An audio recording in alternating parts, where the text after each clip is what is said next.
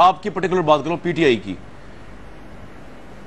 मैं अगर आप मुझे बात पूरी करने दें जी जी जी।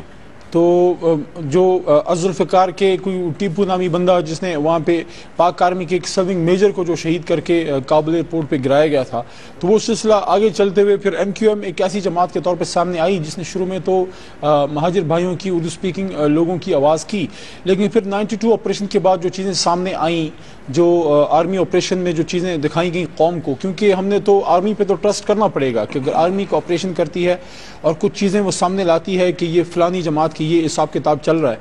तो एक तो ये बात है कि जो, जब ऑपरेशन हुआ और एम क्यू एम के कुछ लोग सामने आए, जिनके अकूबत खाने या उनके जो दहशत गर्द वगैरह जो सामने आए, जो अभी सौलत मिर्ज़ा को फांसी भी लगी तो आपको अपने स्टेट की एजेंसीज जो आई एस आई है या जो रेंजर्स हैं या जो आपकी आर्मी है, वो तो अनपोलिटिसाइज है मेरे ख्याल में। वो जब एक बात करेगी तो आपको उस पर ट्रस्ट तो करना पड़ेगा।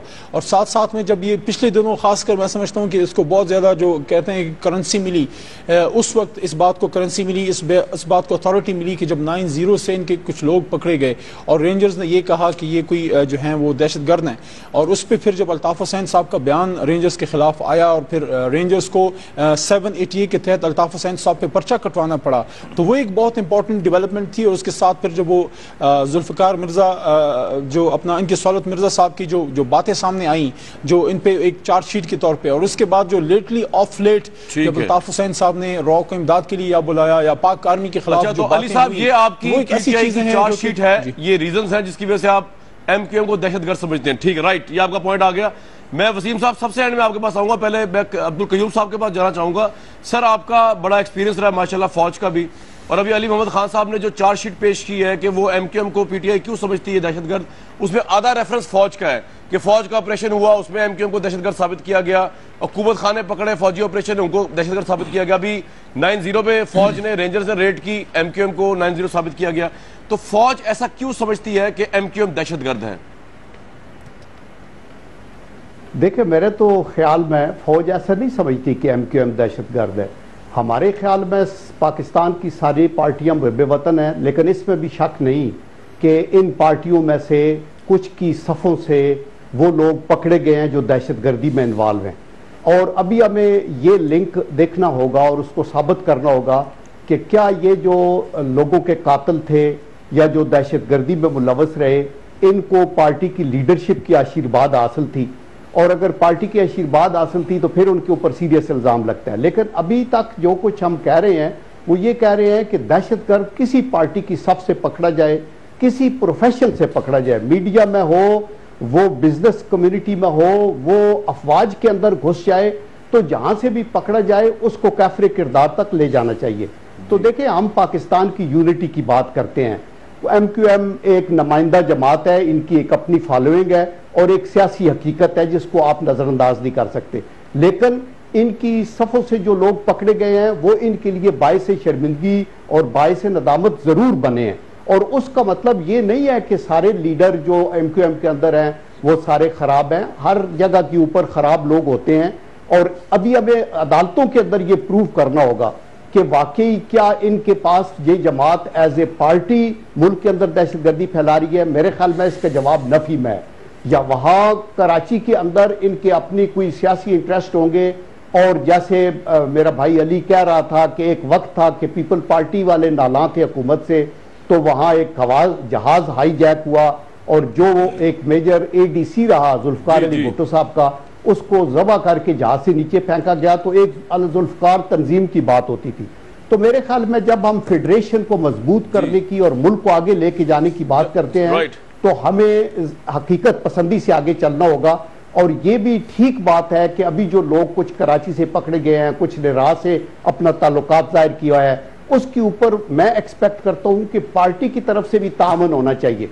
वो कहें कि अगर हमारी सफों में हमारे देखे परवेज मुशरफ साहब पे हमले के अंदर कुछ हमारे लोग एयरफोर्स से पकड़ गए थे। उनको हमने कैफरे किरदार तक गया सजाए मौत दी? और इसी तरह सारी पार्टियों को अक्रॉस द बोर्ड तामन करना चाहिए। सियासत हमारा हक है अपने तौर पे करे लेकिन रियासत के मफादात को दो पे लगा के और लोगों की जानो माल को दो पे लगा के हम सियासत नहीं कर सकते। राइट वसीम अख्तर साहब आपने सुन लिया इल्ज़ाम की एक फहरस्त है। आप आप उन पार्टीज़ में शुमार होते हैं जिनको पाकिस्तान की अहम तरीन पोलिटिकल पार्टीज़ मैं चाहूँ या ना चाहूँ दहशतगर्द करार देती हैं। आपको रीजन पेश कर रहे थे अभी। दोनों पार्टीज़ के लोग डायरेक्टली और इनडायरेक्टली कि आप जब मुजरिम पकड़े जाते हैं तो आप ताउन नहीं करते। ऐसे मुजरिम पकड़ेंगे, आपकी सफों में जिनमें शर्मिंदगी होती है, जो मुल्क दुश्मन है। आपका क्या टेक है, सर? आपको दहशतगर्द कहा जाता है? आपके नज़दीक, आपकी सफों में कोई लोग ऐसे घुसाए हैं जो रा के एजेंट हैं या आप पे ये इल्ज़ाम हैं सिर्फ़ देखें बिल्कुल कामरान इल्ज़ाम ही हैं। अभी प्रूफ कुछ भी नहीं हुआ है और हम इनको कोर्ट में भी फेस कर रहे हैं इन इल्ज़ाम को। मुझे अफसोस होता है अली भाई हमारे पीटीआई के हैं और माशाल्लाह एमएनए हैं। या तो मैं आ, समझता हूँ कि माजी का इतना इनको इल्म नहीं है। आ, ये आ, फौज का हवाला दे के और एम क्यू एम पे इन्होंने इल्ज़ाम पक्के कर दिए आज भी मजीद पक्के कर दिए बैठ के, कि साबित हो चुका है इनकी बातों से ऐसा लगता है कि साबित हो चुका है एमक्यूएम एंटी स्टेट है, रॉ है, दहशतगर्द है। अभी साबित कुछ नहीं हुआ है, कोर्ट में है। और ये लेजिस्लेशन करते हैं एमएनए हैं, इनको इस किस्म की बातें नहीं करनी चाहिए। अभी प्रूफ कुछ नहीं हुआ है। सब चीज़ें इन्वेस्टिगेशन, अंडर इन्वेस्टिगेशन है। तो और फिर हमें सर्टिफिकेट इनका भी नहीं चाहिए, और किसी का भी नहीं चाहिए। ये मुल्क हमारे अबाव अजदाज ने बनाया था। तो बनने के बाद ये सारे मज़े कर रहे हैं अब। पॉइंट ये है जो मैं इनको हिस्ट्री दिखाना चाह रहा हूँ इन्होंने आ, हमारी जो लॉ इन्फोर्समेंट एजेंसीज हैं उनके हवाले से एमक्यूएम को नथी किया। जी। इनके इल्म में ये नहीं है पता नहीं शायद जान इल्म हो मिल में होगा जान के नहीं कहना चाह रहे कि एमक्यूएम पे जिनापुर का भी इल्ज़ाम लगा था। एमक्यूएम पे रॉ का इल्ज़ाम लगा था उस वक्त। और एमक्यूएम पे हमें दुश्मन भी करार दिया गया था। और फिर उसके बाद मीडिया में आके रिटायर्ड हमारे आईएसआई के लोग और फौज से ताल्लुक रखने वाले लोग मीडिया पे आए। उन्होंने माजरत की है कि हमने ये गलती की थी। जिनापुर का नाम दिया गया था। हमने इल्ज़ाम लगाया था एमक्यूएम पे। और फिर एक हकीकी फॉर्म भी की गई थी। उस पर भी माजरत की लॉ इन्फोर्समेंट एजेंसी ने कि हमारी गलती थी, हमने हकीकी फॉर्म की टू ब्रेक एमक्यूएम तो भाई इतनी जल्दी सर्टिफिकेट ना पेश करें। किसी को रॉ का किसी को दहशतगर्द अभी प्रूफ कुछ नहीं हुआ है। आ, ये इल्ज़ाम हमारे बंगाली भाइयों पे भी लगे थे। तो उसके नतीजे अच्छे नहीं होते। राइट तो मेरे मेरी नज़र में अभी आ, अभी वक्त है। देखते हैं कि कोर्ट्स के क्या फैसले आते हैं। अगर हमारे में कोई गलत एलिमेंट है बिल्कुल आज भी कहूँगा ज़ीरो टॉलरेंस है इस पे।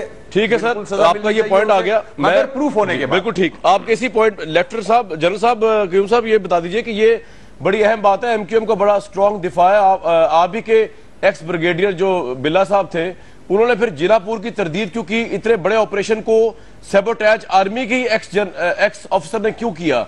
इस तरह की बातें क्यों फिर आती है इससे जिससे ये तकवीत मिले किसी पार्टी को टारगेट किया जा रहा है? मतलब फौज ने ऑपरेशन किया उसके बाद फौज के ऑपरेशन के ही जो लोग हैं जिन्होंने ऑपरेशन में शामिल थे उन्होंने ही कहा कि जी जिनापुर वगैरह ये तो सब फ्रेम करने का चार्ज था। तो क्या इस तरह की कॉन्स्पिरसीज भी करते हैं हमारे इदारे पोलिटिकल पार्टीज़ के खिलाफ एमक्यूएम के खिलाफ? देखिए मैं मैं आ, आपको ये नायत बिल्कुल यकीन से और वसूख से कहता हूँ कि अदारे किसी भी जमात के खिलाफ नहीं है। अदारे सिर्फ़ पाकिस्तान की हिफाजत के लिए हैं और वो ये देखते हैं कि हमारी सफ़ों में कोई ऐसे लोग ना घुसे जो दुश्मनों के हाथों में खेल जाएँ। क्योंकि आपका जो दुश्मन है उसकी बेस्ट स्ट्रेटजी ये है कि जंग लड़े बगैर पाकिस्तान की बालकनाइजेशन की जाए अंदर से तोड़ा जाए वो अंदर इन्वेस्ट करते हैं। ये दुनिया की सारी इंटेलिजेंस एजेंसीज करती हैं जहाँ वो समझते हैं कि ये मुल्क हमारा हमारा राइवल है। जी जी। अभी आप देखिए जनापुर की बात हुई और उसके ऊपर मुख्तलिफ़ व्यूज़ आते रहे। हमारे एक ब्रिगेडियर सईद भी हैं जो इसके साथ डील करते रहे। उनका एक अपना व्यू पॉइंट है। वो क्या है? मैं उन एक पर्टिकुलर इशू इशू की बात नहीं करता। मैं प्रिंसिपल्स की बात करता हूँ। और मैं भाई से इस बात पे एग्री करता हूँ कि जब तक कोई चीज़ प्रूव ना हो जाए तो फिर उस वक्त तक वो एलिगेशन है। और अभी जब हम ये कहते हैं कि कुछ लोग पकड़े गए जिन्होंने टारगेट किलिंग का अपना वो किया कुछ लोगों ने राह के साथ मुलाकात की बात की ये छोटी बातें नहीं है इनको हम इग्नोर नहीं कर सकते। ये आई ओपनर है पूरी कौम के लिए और एमक्यूएम के लिए भी होना चाहिए। और आई एम श्योर के at the end of the day general साहब ये रॉ के साथ तो, किसकी मुलाकातों की बात करें? एमक्यूएम की क्या मुलाकातें की आपके बकौल? नहीं नहीं मैंने कहा रा के साथ चंद लोगों ने जो अगले दिन वो पुलिस के एसएसपी ने प्रेस कॉन्फ्रेंस की उसको आप ओन करते हैं? आप ओन करते हैं आपकी हुकूमत एसएसपी राव अनवार की प्रेस कॉन्फ्रेंस को? या देखिए उनका क्या? मेरा मतलब है that is the fact of life के एक एसएसपी जो सिटिंग एसएसपी है जो पंजाब सिंध हुकूमत का एक ऑफिसर है उसने बंदे अरेस्ट किए और उन्होंने कहा अभी उसको प्रूव करना होगा। मैं यही कह रहा हूँ कि ये अभी एलिगेशन थी और आई एम श्योर कि जो हमारी लॉ इन्फोर्सिंग एजेंसीज हैं और दोस्त जो कि पाकिस्तान की सलामती से मुंसलिक अदारे हैं वो इसको ऐसे तो नहीं छोड़ेंगे। और सेकेंडली आई एम श्योर कि कोई अदारा पाकिस्तान का ये नहीं चाहता कि हम किसी एक पार्टी को के पीछे उसको गन करें और उसके पीछे करें। वसीम साहब तो आप इसलिए इंसाफ होगा। इससे पहले वली साहब को बजाओ वसीम साहब आपने कभी खुद अपनी सफों पे अकाउंटेबिलिटी की है कि वज़ीर सिंध ने भी कह दिया कि रॉ का हाथ है जो अभी सानिया हुआ है बस का और फिर रॉ को जोड़ा जा रहा है एमक्यूएम के साथ एसएसपी रॉ अनवार की जो प्रेस कॉन्फ्रेंस है, और उसको जनरल साहब अगर कह रहे हैं, इल्ज़ाम है, लेकिन वो कह रहे हैं कोई मज़ाक नहीं है। एक सिटिंग एसपी अगर ये बात कह रहा है तो उसमें सब्सटेंस तो होगा। आपने खुद भी सर कभी देखा अपनी पार्टी में कि कोई लोग रॉ से मिले हुए हैं, दहशतगर्दों से मिले हुए हैं, या कहाँ से ये कमांड चलती है चेन ऑफ़ कमांड दहशतगर्दी की? देखें, जैसा कि मैंने कहा, इस एलिगेशन को प्रूफ करना होगा। और जिस तरह से ये एलिगेशन लगाया गया, जो वो एक करप्ट किस्म का आदमी है, पूरी दुनिया जानती है उसे, उसको प्रेस कॉन्फ्रेंस कराई जा रही है, जो कि बनता नहीं है, उसका डोमेन ही नहीं है। It's media trial for M Q M वो कर ही नहीं सकता ये काम, मगर उसने ज़बरदस्ती किया, करवाया गया उससे, जिसने भी करवाया उससे। अब उसको प्रूफ करना होगा, उसके बाद आती है बात। मगर आप पहले से ही अगर उस आद, और फिर उस आदमी को अगर जिस तरह वो टॉर्चर करके उगलवाते हैं चीज़ें सारे सब जानते हैं इसको। मेरे साथी जितने बैठे सब इस तरीके कार को जानते हैं। अगर उसको भी उस कमरे में ले जाया जाए तो वो भी ऐसी ऐसी चीज़ें उगलेगा कि आप सोच भी नहीं सकते। जो उससे कहा जाएगा वो उगलेगा। तो इसी तरह अफसोस से कहना पड़ता है यहाँ हमारी जेआईटी होती है। इस तरह। मार मार के आप थर्ड डिग्री टॉर्चर करके उससे उगलवा लेते हो सारी चीज़ें और फिर मीडिया पे ले आते हो। तो ये बड़ा अफसोसनाक हरकत है मैं समझता हूँ। ये मुल्क right. को तबाही की तरफ़ ले जाने वाला एक स्टेप है। जहाँ तक एमक्यूएम का ताल्लुक है मैंने पहले भी कहा कि प्रूफ करें। पहले अदालतें मौजूद हैं। प्रूफ होता या नहीं होता एलिगेशन लगाना तो बहुत आसान है। जैसे कि आप भी बैठ के बात कर रहे हैं। कि एमक्यूएम को रॉ से जोड़ा जा रहा है तो हँसी आती है और तो कोई बात अगर ऐसा होता खुदा ना खास्ता तो आपने 246 के इलेक्शन का रिज़ल्ट देगा अवाम हमें वोट डालती है ऐसे? ठीक है। अली, अली साहब जवाब तो आपको मिल गया होगा और दूसरी दूसरी बात एक और चीज़ जो आपका सवाल है उसका जवाब दे दूँ। एमक्यूएम में इस किस्म का जो एलिमेंट होता है अगर कोई क्रिमिनल एलिमेंट आ गया है तो हमारी बाकायदा एक तरीकेकार है हम उसको पार्टी से खारिज करते हैं अखबार में बाकायदा उसका नाम दिया जाता है। ये वाहिद एमक्यूएम है जो ये काम करती है। बिल्कुल ठीक है जी। अली साहब तसली होगी N A two forty six का रिज़ल्ट आया आप लोगों को चौरानवे हज़ार वोट पड़ गए एमक्यूएम को। उसके बावजूद जो है क्या पॉलिटिकल स्टंट है तहरीक इंसाफ का? एमक्यूएम को दहशत गर्द कहना क्योंकि कराची में ऑपरेशन चल रहा है और चौधरी निसार साहब भी कुछ ज़्यादा खुश नहीं है लग रहे हैं एमक्यूएम से जनरली स्पीकिंग जी। नहीं देखें पहली बात तो ये है मैं इस इस बात को बिल्कुल जो कहते हैं ना कैटेगोरिकली क्लियरली ये बात करना चाहता हूँ कि एम क्यू एम में वो लोग नहीं कि हमने जो कौमी असम्बली में देखे सलमान बलोच साहब हैं मुजम्मिल साहब हैं उनके जो सतार भाई हैं मोहम्मद अली भाई हैं they are really good people Wasim Akhtar साहब का भी नाम ले हमसे ज़्यादा काबिल लोग हैं। वसीम साहब इधर होते नहीं हैं लेकिन लेकिन मैं जो बात करना चाहिए वो ये था कि इमरान खान साहब भी ही इज़ ऑन रिकॉर्ड उन्होंने कई दफ़ा ये बात की कि एम क्यू एम में बेहतरीन लोग मौजूद हैं। लेकिन कुछ बातें उनमें ऐसी हैं जो कि ज़ाहिर है फिर हम सब पाकिस्तानी हम एज अ पोलिटिकल पार्टी नहीं एज अ पाकिस्तानी हम ज़रूर क्वेश्चन करते हैं। देखें एक बात जो है कि जिस तरह वसीम भाई ने बात की कि गलत लोग जो होते हैं उनको निकाल देते हैं। अल्ताफ हुसैन साहब इज़ ऑन रिकॉर्ड जब उन्होंने फरमाया था कि पचास हज़ार के करीब हमने लोगों को निकाला है तो यहाँ पे एक क्वेश्चन रेज होता है कामरान साहब जी। कि अगर आपकी जमात में कोई गलत आदमी है क्रिमिनल है दहशत गर्द है तो क्या उसको सिर्फ़ निकालना काफ़ी है? जब आप उसमें हुकूमत भी रही, आपकी 2002 से 2008 तक आप हुकूमत में रही और अभी तक गवर्नर साहब आपकी ही तशरीफ़ फरमाए तो क्या अगर कोई क्रिमिनल अपनी सफ़ों में है तो क्या उसको पार्टी से निकालना काफ़ी है या उसको कानून के हवाले भी करना चाहिए? एक बात। दूसरी बात जो वसीम भाई ने की कि जो जे आई टी बनती है, ये बात तो मैं वसीम भाई से बिल्कुल एग्री करता हूँ कि जो पुलिस हमारे मुल्क में करती है, जो थर्ड डिग्री होती है वो वाकई होती है। लेकिन जब जे आई टी की बात आती है कामरान साहब तो वहाँ पे फिर आपकी कुछ इंतहाई सेंसिटिव और जिम्मेदार एजेंसीज भी इन्वॉल्व होती हैं। हर जे में आपकी एमआई का और आपकी आईएसआई का बिलखसूस बंदे होते हैं। तो फिर आपकी जो फोर्सेज हैं यानी कि I S I represents Pak army. तो पाक आर्मी को क्या ज़रूरत है कि वो एम क्यू एम के लोगों को थर्ड डिग्री करे? ये बहुत बड़ा क्वेश्चन मार्क है क्योंकि एज अ मुहिब वतन पाकिस्तानी मैं कामरान साहब आप वसीम भाई जनरल साहब तशरीफ़ फरमाए हम सब हमारा ईमान है इस बात पे। जिस तरह हमारा इस बात पे ईमान है कि पाकिस्तान जो है वो ला इला मोहम्मद रसूलुल्लाह के नाम पे बना है। हमारा इस बात पे भी ईमान है कि पाक आर्मी पाकिस्तान की मुहब वतन तरीन इदारा है। तो वो क्यों एक खास जमात के लोगों पे थर्ड डिग्री करे? तो ये कुछ सवाल ऐसे हैं जिनके जवाब आने चाहिए क्योंकि क्यों में पोलिटिकल लोग मौजूद हैं। उनमें बहुत बड़ी फ़ैन फॉलोइंग बहुत बड़ी इनका जो है पीछे उनका बहुत बड़ा जो है वो बैंक मौजूद है। वसीम साहब फौज की आपसे लड़ाई तो नहीं है?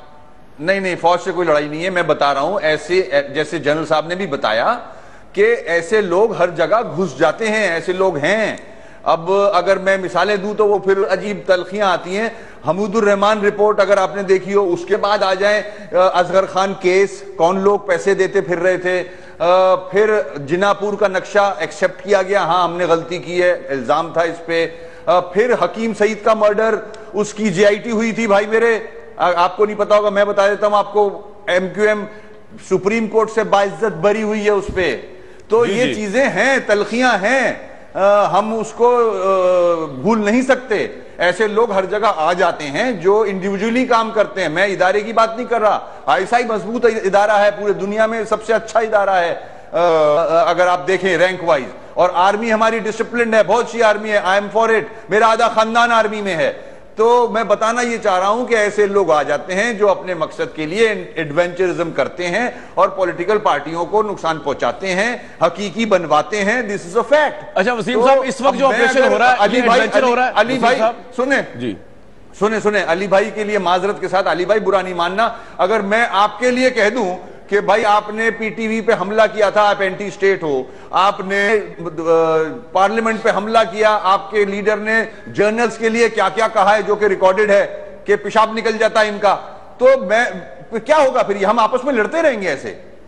हमें अच्छी सोच रखनी चाहिए। मैं भी उतना ही पाकिस्तानी हूँ जितनी आप बात कर रहे हो। फौज मुझे भी उतनी अज़ीज़ है जितनी आपको होगी। मैं भी पाकिस्तान के लिए जान देना जानता हूँ, जान दूँगा मैं, अगर वक्त पड़ा तो। मेरे कायद ने कहा, फौज को एक लाख कारकुन तुम्हारे हवाले। तो ये हमारे जज्बात हैं भाई।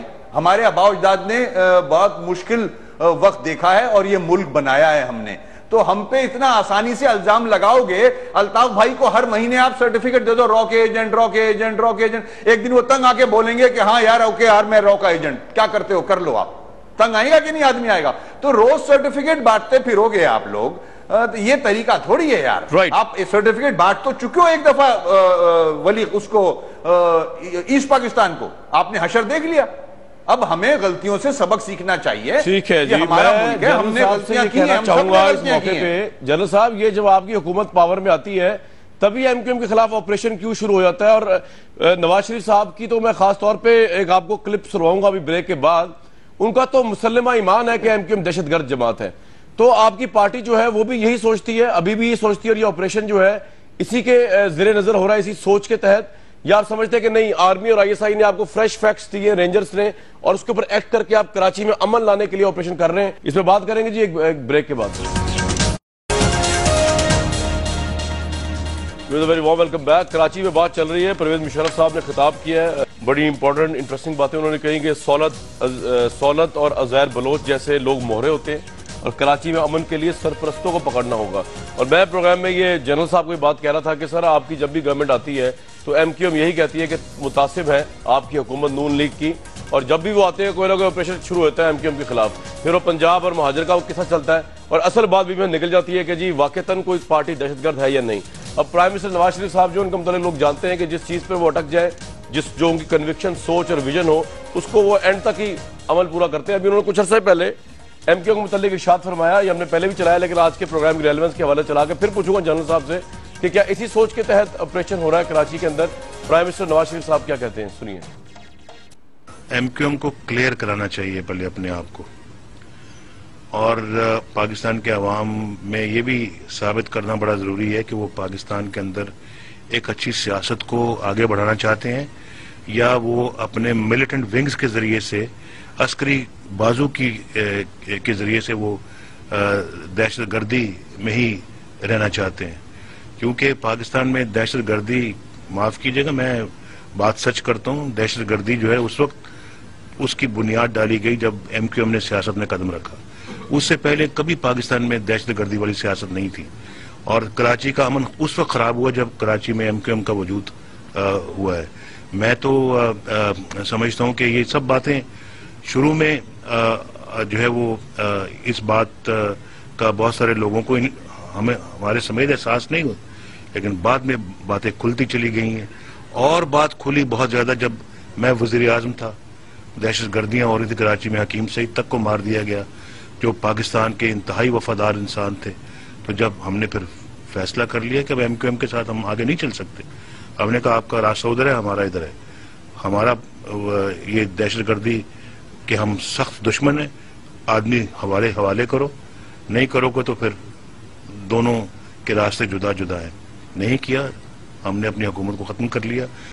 जी जनरल साहब जितने क्लियर नवाज़ शरीफ साहब हैं जिस तरह एमक्यूएम को वो कह रहे हैं कि बानी दहशत गर्दी है सियासत में और कराची के अमन को तबाह करने में इतनी क्लियर आप भी हैं और आपका ऑपरेशन जो जारी है वफाकी हुकूमत का कराची में? देखिए मेरे साहब की जो बात है उसका आप पहला फ़िक्र ही ले। उन्होंने कहा है कि एम क्यू एम को अपने आप को क्लियर करना चाहिए। यही बात हम कह रहे हैं कि हर पार्टी को जिसके ऊपर भी कभी सर लेकिन आगे वाला फ़िक्र देखे ना वो कह रहे हैं पाकिस्तान में दहशत गर्दी की बुनियादी एमक्यूएम ने रखी सियासत में। वो तो बड़े वसूख से कह रहे हैं और कह रहे हैं ऑपरेशन में हमें हकायक पॉइंट ये देखिए कामरान बात सुने। मसला ये है कि जब यहाँ कराची के अंदर जमात इस्लामी एक मेजॉरिटी में थी तो उस वक्त दहशत गर्दी नहीं थी। ये कोई इंसिडेंस है कि जब ये पार्टी आई है तो उसके बाद ये वाकयात हुए हैं और ये रिकॉर्ड के ऊपर है। लेकिन मैं आपको ये बताना चाहता हूँ, देखिए with the passage of time हालात बदलते भी रहते हैं। मैं ये कहना चाहता हूँ कि मियाँ Nawaz Sharif as a prime minister और ये सच्ची बात है कि आज भी एम क्यू एम की इज़्ज़त करते हैं। दैट इज़ द रीजन कि आज तक उनका गवर्नर जो अभी शायद वो आपस में अपने उनके गवर्नर को भी हमने रखा हुआ है। उनकी ली, उनके जहाँ से मुख्तलिफ़ M N A M P A से सर अब तो वो उनके गवर्नर ही रहे। लीडर से मिलते हैं। तो खत्म हो गई उनकी गवर्नरशिप एमक्यूएम के साथ। जी। नहीं अब अभी आप देखें कि अगले दिन गवर्नर हाउस में उन्होंने मुलाकात कराई। हमारा इंटरेस्ट मुल्क से दहशत गर्दी का खात्मा है। हमारा तो कोई भी निशान के ऊपर कोई पार्टी मैं सर ये पूछा था कि इसी सोच के तहत ऑपरेशन हो रहा है ना जो नवाज़ शरीफ साहब सोचते हैं कि एमक्यूएम दहशतगर्द जमात है। मैं यही जानने की कोशिश कर रहा था। बहरहाल नवाज़ शरीफ साहब ज़्यादा क्लियर है सर। देखिए जी। एक और बात भी इधर मेरे ख्याल है मेरे एक भाई ने की और उन्होंने ये कहा कि ये जो हमारी सिक्योरिटी एजेंसीज हैं इनमें कई लोग ऐसे हैं वसीम भाई ने कहा। तो मैं ये कहता हूँ कि देखिए आपकी जो मदर इंटेलिजेंस एजेंसी आईएसआई वो एक दुनिया में मानी हुई इंटेलिजेंस एजेंसी है लेकिन इंडिविजुअल्स गलती हो सकती है। आपको याद होगा कि जब जनरल आसफ नवाज़ चीफ थे। जी। उस वक्त हमारे एक मेजर ने डकाइट समझ के कुछ लोगों को टंडो आदम खेल में वहाँ मार दिया। बाद में इंक्वायरी हुई तो पता चला कि ये तो गलत हुआ तो उनको सजाए मौत हुई उस अफसर को। तो इसलिए मैं ये कहना चाहता हूँ कि देखे हमारा इतफाक है इस बात के ऊपर कि मुल्क से दहशत गर्दी को निकालना है। ठीक है सर ठीक है जहाँ भी होगा उसको स्पेयर नहीं बिल्कुल ठीक है। वसीम अख्तर साहब आपने कुछ सोचा है इस बारे में कि आपने आपको क्लियर कराएँ? कुछ लोगों को साफ़ करें कुछ स्क्रीनिंग का सिस्टम जो नवाज़ शरीफ साहब ने सजेस्ट किया है दहशत गर्दी की लिस्ट से अपने आपको खारिज कराएँ कुछ एक्शन किया सिलसिले में आपने? आ, नहीं मुझे कोई ज़रूरत नहीं है उनके मशवरे पे अमल करने की बड़े अदब के साथ नवाज़ शरीफ साहब को कराची के डायनेमिक्स का बिल्कुल नहीं पता आ, ना माजी का पता है ना हाल का। माजी का यूँ मैं ज़िक्र करूँगा कि कराची में दहशत गर्दी जब मोहतरमा फातिमा जिन्ना का इलेक्शन हुआ था अयूब खान के साथ तो लियाताबाद में गौहर अयूब साहब ने ट्रक पे बैठ के महाजरों का खून बहाया था किलिंग की थी। उस वक्त एमक्यूएम का वजूद नहीं था। तो नवाज़ शरीफ साहब की इतला के लिए ये है जो आपने मुझे क्लिपिंग दिखाई उसका जवाब दे रहा हूँ मैं। आ, उनको हिस्ट्री का नहीं पता। नंबर टू अगर इस तरह से इल्ज़ाम लगाते रहे आप टेलीविज़न पे आके तो मेरी नज़र में ये कॉन्टेम्प ऑफ़ कोर्ट भी है। सुप्रीम कोर्ट का फैसला आ चुका है हकीम सईद केस पे, और बाइज्जत बरी हुई है एमक्यूएम नंबर थ्री कि अगर मैं इल्ज़ाम की जब बात आती है तो मॉडल टाउन में नवाज़ शरीफ साहब की जमात ने चौदह आदमी कत्ल किए। गुल्लू भट्ट सबने देखा, फायरिंगें सबने देखी, इनोसेंट लोग मरे गए। तो इल्ज़ाम लगाना बड़ा आसान है कि मेरी जमात में दहशत गर्द हैं और और आपकी जमात बिल्कुल पाक है। नंबर थ्री अभी थोड़े दिन पहले चेयरमैन इलेक्शन चेयरमैन सेनेट का इलेक्शन हुआ तो शहबाज शरीफ साहब ने अल्ताफ भाई को फ़ोन किया फॉर द सपोर्ट और बड़ी अच्छी अच्छी बातें हुई हो होनी भी चाहिए। तो अगर हम दहशत गर्द हैं तो फिर जो हमें अप्रोच करता है हमारे साथ आना चाहता है वो भी दहशत गर्द हुआ right. तो। ये आपका तो जब ज़रूरत होती है तो एमक्यूएम अच्छी हो जाती है। ये आपका पॉइंट है ज़रूरत नहीं होती तो एमक्यूएम दहशत लेकिन मेरा जिमनन सवाल ये था कि आपको लगता है कि जब नवाज़ शरीफ साहब आते हैं पावर के अंदर तो उन, उनकी कोई खास विजन है एमक्यूएम को लेकर तो ऑपरेशन शुरू होता है या ऑपरेशन वैसे भी हो रहे हैं आपके खिलाफ दहशतगर्दी को लेकर ये मेरा सवाल था बुनियादी। देखिए मैं जहाँ तक नवाज़ शरीफ साहब का ताल्लुक है बड़े अदब के साथ प्राइम मिनिस्टर है इस मुल्क के मेरी ख्वाहिश ये होगी कि जो माजी में हम सबने गलतियाँ की हैं वो फिर से ना दोहराएँ। हमारा मुल्क है इसको तरक्की दें। अवाम सफ़र कर रहे हैं। हम तो सब मज़े कर रहे हैं जिनके पास दो पैसे हैं। आ, सब मज़े कर रहे हैं मगर अवाम सफ़र कर रहे हैं। बहुत बुरे हाल में है अवाम। ठीक है ये पॉइंट आपका गया इजहार लक साहब ने अभी हमें ज्वाइन किया है। इजहार लक साहब बात चल रही थी कराची के ऊपर तो मैं ये कह रहा था कि जो मैंने इशू रेस किया कि कराची में ये अजीब सी बात है कि पाकिस्तान की एक अहम तरीन पार्टी है एमक्यूएम उसको जो है वो आ, साबित करने की कोशिश की जाती है। हर तरफ़ से एक दहशतगर्द जमात है। बींग जर्नलिस्ट आपका अपना टेक किया है कि ये कोई पोलिटिकल पॉइंट स्कोरिंग होती है या नवाज़ शरीफ साहब की गवर्नमेंट आती है तभी ये दहशतगर्द करार दिए जाते हैं एमक्यू वाले या कोई और रीजन है इसका?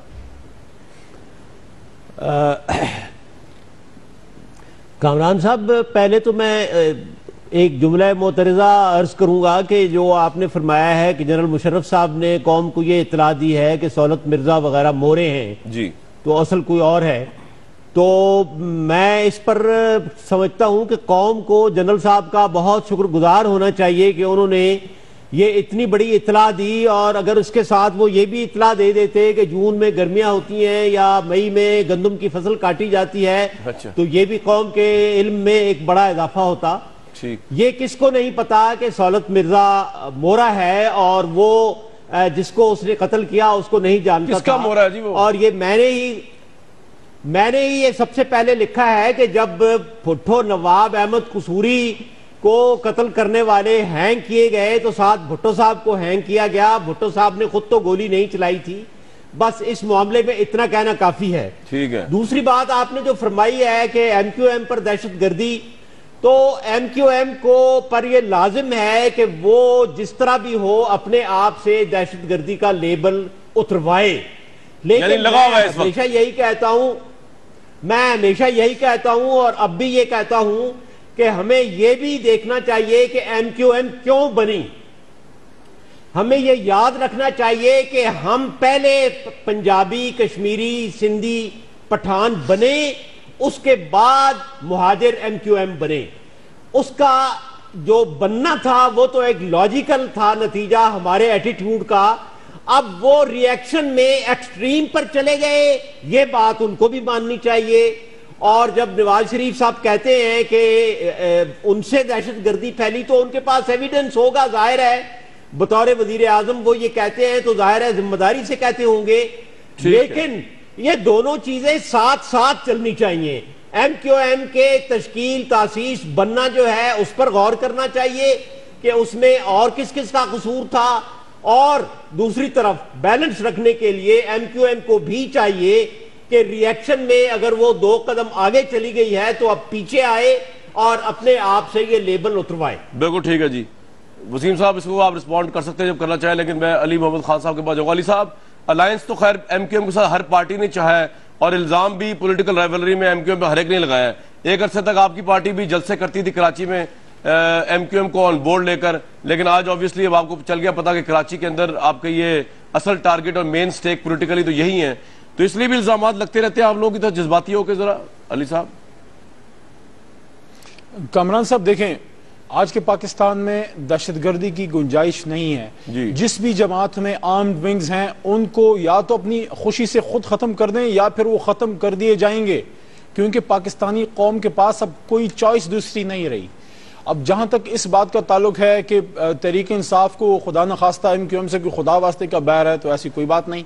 हम तो हर उस जमात के साथ हमारी एक सियासी टसल रहेगी, जिनका पाकिस्तान के बिगाड़ में हाथ रहा है, कि मैं क्यों ना पूछूँ कि जब 12 मई को इनकी हुकूमत थी और यही मुशरफ साहब की भी आपने कामरान साहब बात की। मुशरफ साहब उस वक्त सदर थे और मुझसे वो नज़ारा कामरान नहीं भूलता। जब 12 मई को मैं खुद वकील हूँ इसलिए मेरा दिल ज़्यादा दुखता है इस बात पे कि जब वकीलों को ज़िंदा जलाया गया तो अल्ताफ हुसैन साहब जो वसीम भाई की जमात उनकी हलीफ थे ना एम क्यू एम जो है इनकी हुकूमत थी उस वक्त तो जो है अपना मुशरफ साहब ने यहाँ पे कॉन्स्टिट्यूशन एवेन्यू में खड़े होकर जब इस तरह हाथ मुक्के लहराए थे कि देखा ताकत का जवाब ताकत से दिया तो जो 12 मई में लोग जो जलाए गए थे वो जिसने भी किए थे कामरान साहब जिसने भी किए थे जी जी। लेकिन उस वक्त की जो हुकूमत थी उनकी ये रिस्पॉन्सिबिलिटी तो बनती थी ना कि वो इन्वेस्टिगेट करें कि वो भाई वज़ीर थे पाकिस्तानी क्यों शहीद हुए? और दूसरी बात यह है कि ये जो हाल ही में जो बल्दिया का बल्दिया टाउन का सानिया हुआ जिस पे जेआईटी ने जो है एमक्यूएम की जमात को जो है उन्होंने मोदी इल्ज़ाम ठहराया था उसमें जेआईटी में जिसमें कि वही सिक्योरिटी की एजेंसीज मौजूद हैं जिन पे हम सब बड़े दावे करते हैं कि हम उन पर एतमाद करते हैं। तो ये सवाल उठते हैं ना। देखें कामरान साहब कि बात हुई आ, आ, आ, वसीम साहब ने बात की चेयरमैन तरीक इंसाफ इमरान खान साहब की उन्होंने कोई बात की थी आर्मी के जनरल्स के खिलाफ वो उसको तो हम डिनाई करते हैं कि हमने की ही नहीं और वो एक निजी महफिल की गुफ्तगु को तोड़ मरोड़ के पेश किया गया जिसको हम डिनाई करते हैं हम उससे इनकार करते हैं। लेकिन अल्ताफ हुसैन साहब ने इंग्लैंड में बैठ के जो तकरीर की पाकिस्तान को वो तो उससे इनकार ही नहीं करते। उसके तो माफ़ी मांगी हाँ मैंने ये बात की माफ़ी मांगी। जिस तरह सवाल पूछूँगा कि चौधरी जो आपके भी सवालों को रिस्पॉन्ड कर सकते हैं कि चौधरी निसार साहब ने जिस तरह स्कॉटलैंड यार्ड के साथ एग्रीमेंट कर रहे हैं, हवालगी का मामला मौजूम अली का, उसके, उस पर क्या राय है एमक्यूएम की और कराची ऑपरेशन पे जो जिस तरह वजी दाखिला मूव कर रहे हैं उस पर वो सेटिस्फाइड है या उनकी रिजर्वेशन और फाकी हुकूमत के खिलाफ? बात करते हैं एक ब्रेक के बाद।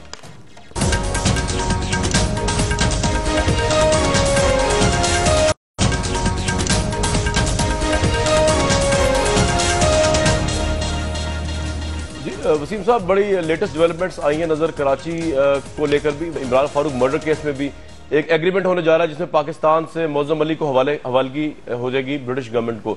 आपका अपना रिस्पॉन्ड क्या है इसके ऊपर? ये ठीक हो रहा काम आ, पाकिस्तान में दहशत गर्दी को लेकर? बिल्कुल मैं देता हूँ मैं अली का जवाब भी दे दूँ। मुझे थोड़ी सी मासूमियत पे हँसी भी आती है कि इमरान खान साहब पे जब इल्ज़ाम लगता है तो कहते हैं हम तो डिनाई कर चुके हैं उसको। तो हम भी बहुत सारी चीज़ों को डिनाई किया है हमने भी। और जहाँ तक इल्ज़ाम का मामला है देखें इल्ज़ाम ना लगाएँ एक दूसरे पे। अगर मैं आपका चेहरा दिखाऊँ तो मैं इस तरह दिखा सकता हूँ कि आपकी हुकूमत में जेल ब्रेक हुई, आपकी ज़िम्मेदारी, बच्चे शहीद किए गए, आपकी ज़िम्मेदारी। उसके बाद जो आपका नेक्सस तालिबान से है, जिसके ऑफ़िस खुलवाना चाह रहे हो आप, चाह रहे थे के पी के में लोअर दीर में औरतों को आपने वोट डलवाने नहीं दिया। तो ये आपका असल चेहरा है। मैं मेरे सवाल का जवाब को आप गुड तालिबान बैड तालिबान। तो ये इस तरह से अगर करोगे तो मेरे पास भी बहुत सारी अच्छा, चौधरी साहब जो हवाला हवाले कर रहे हैं मौजूद अली को ये ठीक है आपके ख्याल में एग्रीमेंट ऐसा होना चाहिए इंग्लैंड के साथ तो पाकिस्तान का? देखिए हमारी ख्वाहिश है कि डॉक्टर साहब का कातिल जल्द से जल्द पकड़ा जाए। चाहे कहीं से भी किसी को भी हवाले करें उनके कातिल को पकड़ा जाना ठीक है जनरल साहब आप ये हुकूमत करने जा रही है। प्रोसीड जो खबरें आई हैं हवालगी वाला इशू देखे मैं मैं तो समझता हूँ कि हकूमत अगर नहीं करेगी तो बहुत बड़ी कोताही करेगी। अगर हमारा एक पाकिस्तान का एक मुहब वतन शहरी वहाँ उसका कत्ल हो जाता है और उसके कातिल अगर हमारे पास है और हमें हमें पता चल जाता है कि कौन है तो वो ज़रूर उनको कैफरे के बिल्कुल ठीक है आपने कहा कि नवाज़ शरीफ साहब जब आते हैं तो एम क्यू एम का खिलाफ ये बात ठीक नहीं है। मैंने नहीं कहा। देखिए की सोच है। नहीं। जी। जी जी। देखे पाकिस्तान की तारीख में दो बड़ी जमातें हैं पीपल पार्टी और मुस्लिम लीग। मुस्लिम लीग ने भी कराची के अंदर एक्शन किए हैं है। और पीपल पार्टी ने भी 93 से 96 पे। और तहरीक इंसाफ की भी कोई सर सर आपको एक पॉइंट आ गया वक्त कम है इजहार साहब को जा रहा मैं एक सेकंड के लिए। सर बिल्कुल ठीक है जल साहब एक पॉइंट आ गया। इजहार लक साहब ये तासुर सही है गलत है कि जब नवाज़ शरीफ साहब की हुकूमत आती है तो एमक्यूएम की ऐसी तैसी हो जाती है ऑपरेशन के थ्रू उनको दहशतगर्द भी कहा जाता है। आ, ये इतफाक भी तो हो सकता है अच्छा। कि जब नवाज़ शरीफ साहब आते हैं तो उस वक्त क्योंकि ये तो हमें पता है कि ऑपरेशन जो है वो सरासर हुकूमत के एमा पर या हुकूमत के इनिशिएटिव पर नहीं होगा इसमें और भी फोर्सेस होती हैं इसमें और भी मुहर्रिकात हैं अवामिल हैं। शुक्रिया। इसमें और भी का व्यूज़ कराची बड़ा सेंसिटिव मामला है। उम्मीद रखते हैं वहाँ अमल आएगा कल तक के लिए इजाज़त।